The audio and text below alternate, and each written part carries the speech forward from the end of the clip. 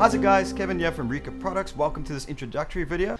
We really hope you're gonna enjoy this fantastic new product. It is a Rika block, fantastic little concrete deck footing that helps you install timber decking. It is 290 by 290 square footing on the base.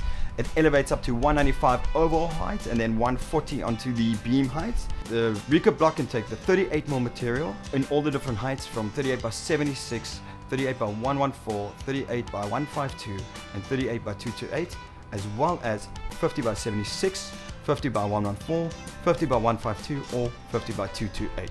The Rika block is also designed to take a 95 by 95 post. This comes into play when you want an elevated deck or if you have a sloping deck so the ground slopes off.